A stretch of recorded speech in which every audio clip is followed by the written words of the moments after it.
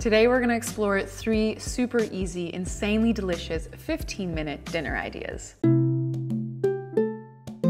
We all know that feeling of coming home after a really long day, feeling a little bit tired, maybe a bit lazy, and we wanna make something homemade, delicious, nutritious, but we don't want it to take so long. If that's the case, we've got you covered with today's video, and you know the drill. The breakdown to each of the recipes can be found on the blog with metric and imperial units of measurements.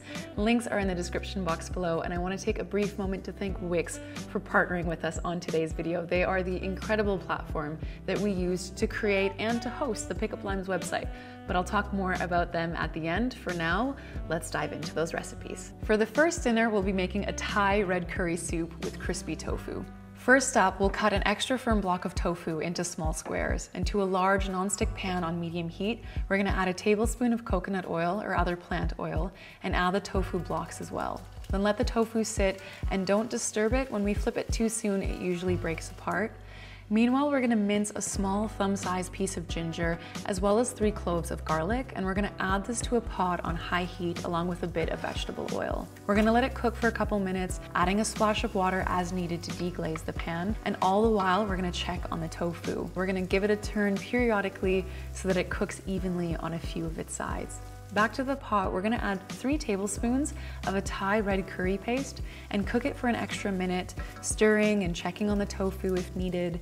And we're then gonna add two vegetable bouillon cubes, two and a half cups of boiling water, a can of coconut milk, two tablespoons of sodium reduced soy sauce, and two teaspoons of sambal hot sauce, which is optional. We'll then thinly slice a red bell pepper and cut those slices in half and add this to the pot as well. Then give it a stir, partially cover it with a lid and let it sit and simmer for about five minutes. By now the tofu should be crispy and done cooking and if it is, we're just gonna set it aside. For this recipe, I also use these instant whole grain rice noodles, which cooks in only three minutes.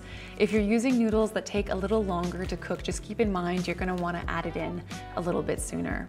Next, we'll cut the ends off of two small heads of bok choy, making sure to give it a rinse.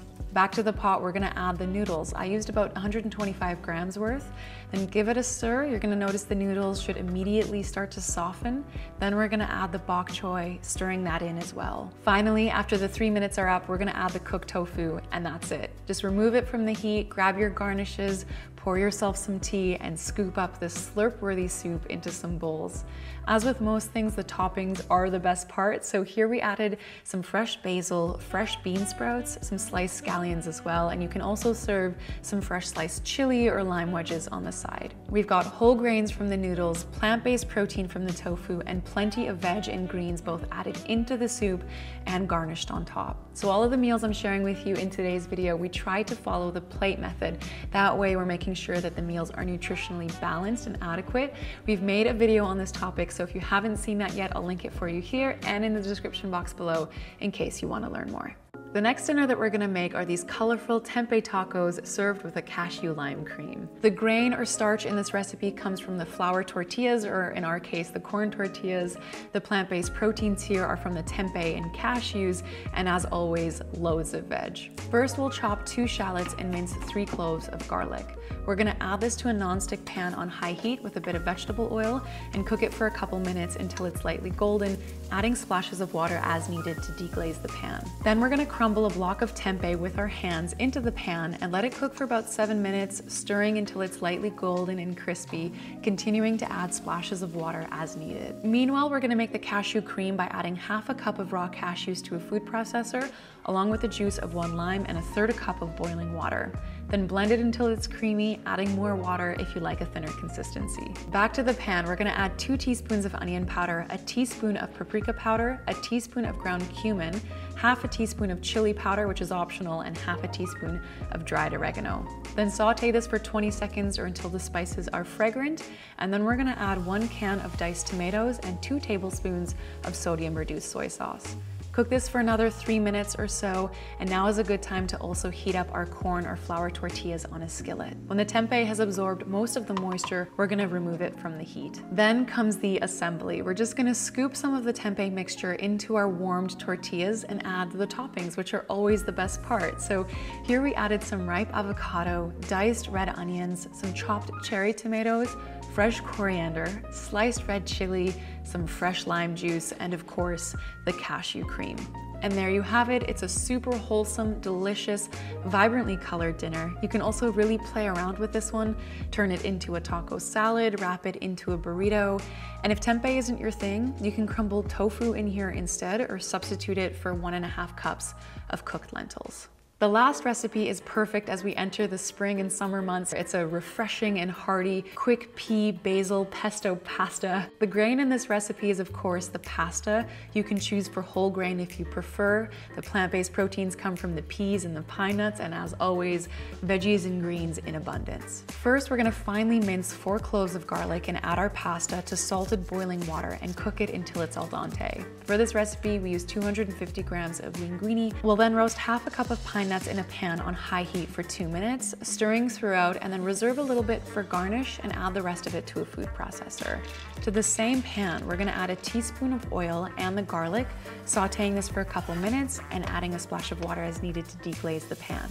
We're gonna add this to the food processor as well. Next, we're gonna dice a couple of shallots and here I'm gonna use two large roasted bell peppers that come from the jar that were in water. These get diced up as well. Back to the pan, we're gonna add another teaspoon of oil and the shallots, letting it cook for a couple of minutes. And while the shallots cook, we're gonna go back to the food processor. We're gonna add a cup and a half of cooked peas, the juice from one lemon, two tablespoons of olive oil, and a heaping cup of fresh basil and some salt and pepper. Then blend it until it's as creamy as you can get it. Back to the shallots, they should be starting to caramelize by now, so we're gonna also add those roasted bell peppers. And when the pasta is done, we're gonna drain it, rinse it, and return it to the pot. Add the shallot mixture on top, pour over the pea pesto, and give it a mix. When you've removed it from the heat and you're ready to serve it, that's when we're also gonna add a couple of handfuls of arugula and give it a stir. Then plate it generously, top it with some fresh peas and some of those reserved pine nuts if you'd like, maybe a bit of freshly cracked black pepper or some freshly squeezed lemon, and that's it. This one is delicious both hot and also cold, kind of like a pasta salad, and leftovers of this taste incredible. So it's perfect to take for lunch the next day if you didn't finish it all in one go. I recently did an Instagram story question asking what kind of videos you wanted to see more of, and this was by far the most requested. Just some quick, easy vegan dinners. So I hope this is giving you some more recipes that you can add to your arsenal, things that you can try out. And again, thank you to Wix for partnering with us on today's video. So I created the Pick Up Limes website myself a couple of years ago using Wix the same time I started this YouTube channel. But before that, I still had the Pick Up Limes blog, but it was on another platform.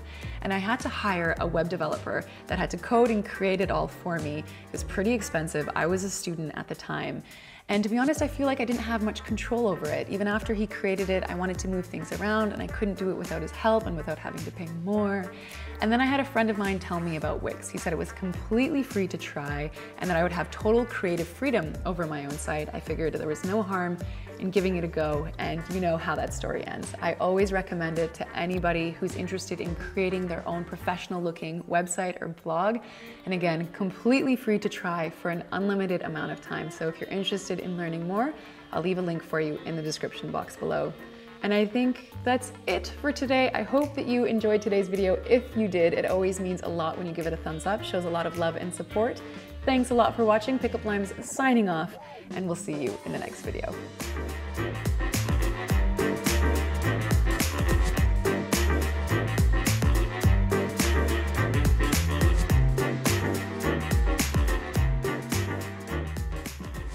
About filming recipe videos.